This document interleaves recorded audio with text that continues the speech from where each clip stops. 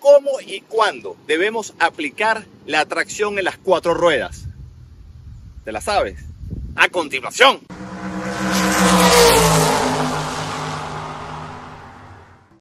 Bienvenidos una vez más a nuestra sección en el taller. Hoy vamos a hablar sobre cómo se debe aplicar la tracción en las cuatro ruedas y cuándo debemos hacer esto. Empecemos por lo básico. Vehículos como esta Toyota Hilux, esta camioneta off-road, son de tracción trasera. ¿Qué significa eso? Que las ruedas traseras o los ejes traseros son los responsables de generar fuerza para que el vehículo entre en movimiento. Algunos vehículos son four-wheel drive, quiere decir que las cuatro ruedas están en constante movimiento.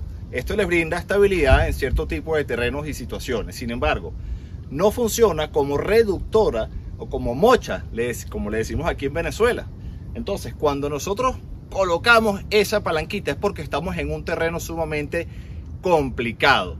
Para no forzar tanto el motor en, subidas en las que probablemente el vehículo no suba, colocamos la eh, reductora para que el carro tenga mucha más fuerza y las cuatro ruedas brinden un mayor agarre. De manera que si colocamos la 4 High, que es la 4H, vamos a hacer que aquellas ruedas y estas traseras trabajen en conjunto, lo que brindará una mayor tracción en arena que no esté tan densa, tan honda, en terrenos de tierra, subiendo al Ávila, pasando pequeños caños que no sea tan difícil. Ahora, cuando son mucho más densos, más hondos, es preferible colocar la 4L. Este vehículo, cuando lo subimos al Ávila, en este caso, colocamos la 4L porque la subida tiene una inclinación muy fuerte y el motor se cansa, se recalienta, al igual la caja. Entonces, la 4L funciona para que la relación de un rango más bajo brinde mayor torque y el vehículo tenga mayor fuerza una velocidad más corta, más baja, para poder subir todo este terreno. Al igual ocurre en nieve, en arena, pasando vadeos, esa es la velocidad que debemos aplicar ya que la fuerza del motor va a ser superior a la fuerza regular. ¿Y cuándo debemos usar la 4H? Bueno, cuando vamos en arena suave, que no es arena profunda, densa, cuando estamos en un terreno de tierra, esto va a hacer que el vehículo no patine en las ruedas traseras y lo que decimos aquí bote el culo, sino que sencillamente el carro va a estar con una mayor tracción sobre la superficie y va a ser mucho más estable. Dato importante, las velocidades de la caja reductora deben colocarse por debajo de 69, por debajo de 60 kilómetros por hora. Yo en mi caso prefiero hacerlo detenido. Yo me estaciono, yo acoplo la 4H y arranco, si lo puedo hacer en ese momento. Si no, trato de reducir lo máximo la velocidad por debajo de 60 y coloco la 4H. En el caso de la 4L, debemos prácticamente detenernos. Máximo yo creo que podemos estar a unos 15 kilómetros por hora y sin embargo va a sonar el varillaje, va a sonar el tránsito. Entonces, si lo puedes hacer detenido, eso es lo ideal para que no sufra este sistema de engranajes. Muy bien, ¿y cómo nosotros colocamos la mocha o la palanca de la reductora? Estamos en neutro, el vehículo está detenido en este momento, venimos a esta palanca y bajamos. En este momento está en 4H o H4. Quiere decir que aquí esta lucecita te indica que el vehículo tiene la tracción en las cuatro ruedas, es decir, los ejes delanteros y traseros están funcionando de forma simultánea. Si queremos ir a la 4L, seguimos el camino del dibujo que tiene la línea de la palanquita. Somos a la derecha, pasamos neutro y ahí estamos en 4L.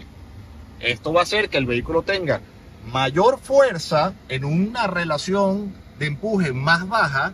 Quiere decir que el vehículo probablemente va a llegar a 15 kilómetros por hora y esta aguja va a estar sumamente alta.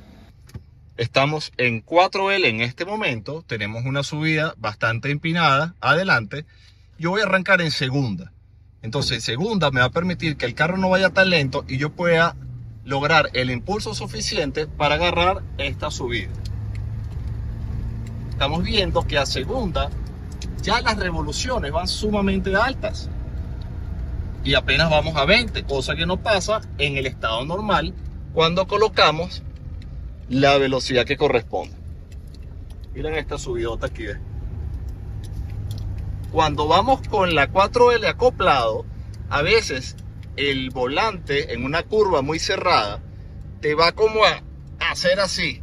Va a tener un leve movimiento de rechazo. Eso es porque este sistema de suspensión delantera o este es un vehículo de tripoide hace que todas esas piezas que están trabajando en conjunto en este momento pidan liberar energía. Entonces, en algunos casos debemos ser muy cuidadosos para que no se dañen.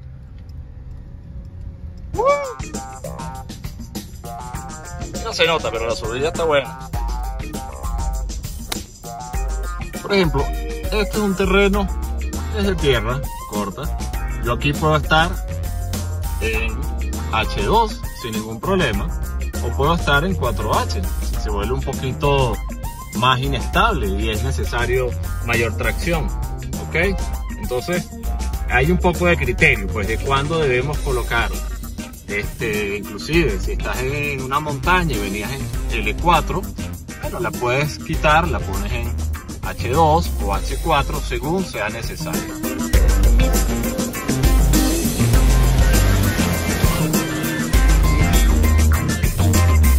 y algo importante.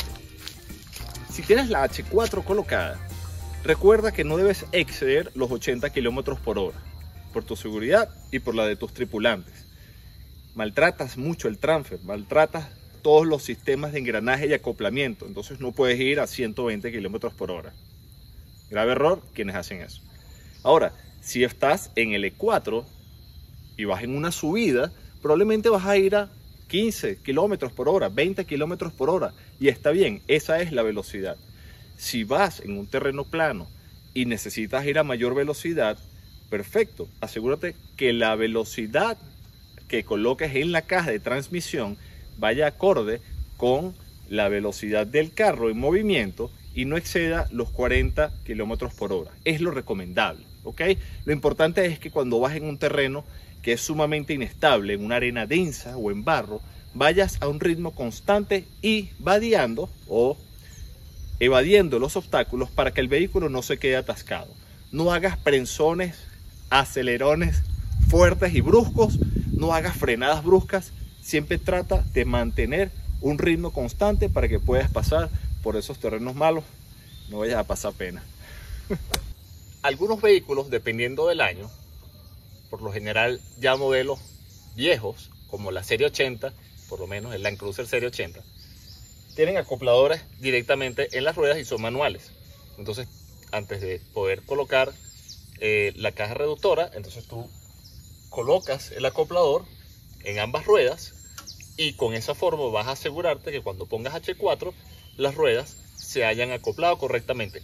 Si no acoplas, no se va a eh, activar eh, la tracción en las cuatro ruedas. Ojo con eso. Ey, y pila. Hay muchos panes que hacen maldades y entonces vienen y te desacoplan el carro en arena o te quitan un solo acoplador y te dejan el otro. Eso último es malísimo porque te daña el acoplador y es una maldad que puede terminar en una mala jugada. En nuestro caso, en la mayoría de vehículos como este, en el momento en que tú colocas la H4 o la L4 se prende la luz automáticamente. Sin embargo, en este vehículo nosotros hicimos una modificación, lo pusimos un switch electrónico para que se acople o desacople según yo quiera. Este es un trabajito que en otro video te puedo comentar. ¿Por qué hice esto? Porque en ciertas subidas o bajadas yo no quiero que sufran los tripoyes o los sistemas del tren delantero. Entonces lo, lo, quito a mi deseo y después lo vuelvo a colocar. Ese es un truco que después compartiré contigo. Mira, y algo importante que te quiero decir, eh, cuando estés manejando y estés utilizando la H4 o la L4, debes ser cariñoso con tu vehículo. No hagas cambios bruscos con el croche porque eso puede dañar justamente las transmisiones. Y si estás en una bajada larga e empinada, eh, trata de usar la L4 en segunda o en primera velocidad para que esa relación baja frene el vehículo y él va a ir frenado, valga la redundancia, sin necesidad de que tú vayas pisando el freno. Lo puedes pisar únicamente si ves que las revoluciones llegan muy alto, entonces quieres regularlas un poco y lo llevas así, ¿no? Tres segundos, descansas tres segundos, pisa el freno dos segundos, sueltas cuatro segundos, o sea, para que la pastilla tenga tiempo de refrescarse. Porque si no, si vas todo el tiempo frenando, frenando a alta velocidad en una bajada muy empinada, se te van a calentar los frenos de tal forma que va a llegar un momento en el que no vas a frenar más, o sea, el carro no te va a frenar y se pone difícil la situación. Si eso te llegase a pasar, trata de orillarte, coloca el freno de mano para que el vehículo reduzca velocidad, luces intermitentes y debes esperar a que tus frenos se enfríen. Fíjate que cuando voy en el E4 y yo arranco, la aceleración es distinta. Si yo acelero mucho, el carro puede hasta zapatear, ¿verdad? ¿Ves? Entonces, sé cariñoso con el pedal, encuéntrale el punto exacto para que el vehículo tenga esa velocidad que te va a permitir subir sin dar, sin estar dando golpes dentro del carro. Subes lento, subes seguro, subes tranquilo. Mira, estuvimos en el E4. Si estuviese en 4H, bueno, también subiría así, porque no hay necesidad de irme matando. O sea, tú vas suavemente en el terreno inestable para que el vehículo vaya teniendo tracción y llegues al punto plano de una forma segura. Pues. Si es muy necesario que vayas rápido porque necesitas el impulso, oye, bueno, eso es otra historia. Eso lo vemos en otro episodio. Pero cuando estés en el E4, muy cariñoso con tu vehículo, con los cambios y con el pedal. Si te gustó este video, dale like, activa las notificaciones y atento en nuestras próximas aventuras por este canal. Nos vemos en la vía.